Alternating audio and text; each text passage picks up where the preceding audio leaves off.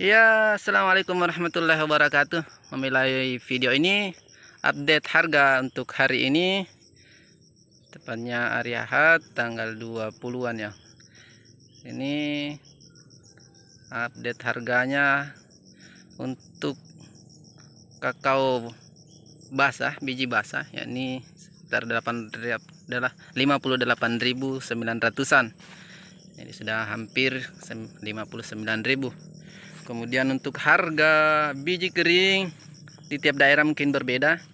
Namun saat ini daerah kami itu sudah ada yang beli sekitar 180 ribuan. Nah, ini kami memperlihatkan gambaran di depan. Ini adalah klon S2 atau BR25 ini ada dua pohon yang terlihat jelas di gambar ini. Memiliki produktivitas buah yang sangat luar biasa.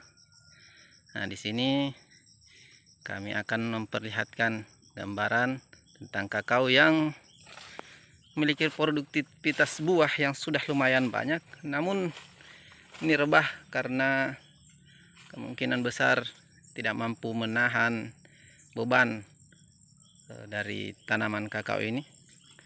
Melihat jumlah produktivitas buahnya lumayan banyak kemudian kemungkinan terlalu rimbun sehingga eh, akarnya tidak mampu eh, untuk menahan bobot dari tanaman itu sendiri. Kita periksa terlebih dahulu. Kita melihat di sini akar sehat tidak ada masalah. Ini mungkin hanya kelebihan bobot berat di tanaman itu sendiri sehingga tidak mampu. Dan kemungkinan e, tanahnya juga ini sangat gembur sangat lembek sehingga mudah untuk roboh ini harus melakukan e, ekstra kerja karena ini dahannya rapat ke tanah sehingga sangat mudahkan sekali tanaman terkena penyakit seperti ini. Busuk buah terutama yang rapat bagian tanah itu sangat rentan. Tekniknya adalah untuk saat ini Eh, penanggulangan dengan cara pemberian pestisida dalam hal ini fungisida untuk mencegah eh, penyebaran penyakit ini ke buah yang lainnya. Karena itu bisa menyebabkan eh, gagal panen untuk tanaman kakao kita.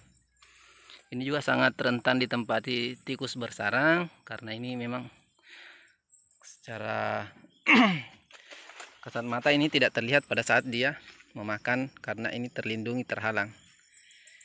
Jadi ada beberapa teknik yang bisa kita lakukan untuk eh, tanaman ini namun itu akan kita bahas di eh, part selanjutnya mudah-mudahan dalam waktu singkat kami akan coba buatkan video khusus untuk penanganan eh, kakao yang sudah berproduksi seperti ini atau bahkan yang belum tapi rebah seperti ini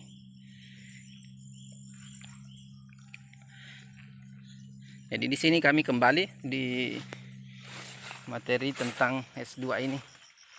Ini yang sering juga ada pertanyaan, lebih unggul mana klon eh, S2 atau klon yang lain misalnya 45 atau yang lain MCC 02. Nah, ini kita bisa lihat sendiri. Produktivitasnya sudah sangat luar biasa. Ini usianya sudah enam tahun jadi produktivitas buahnya sudah sangat maksimal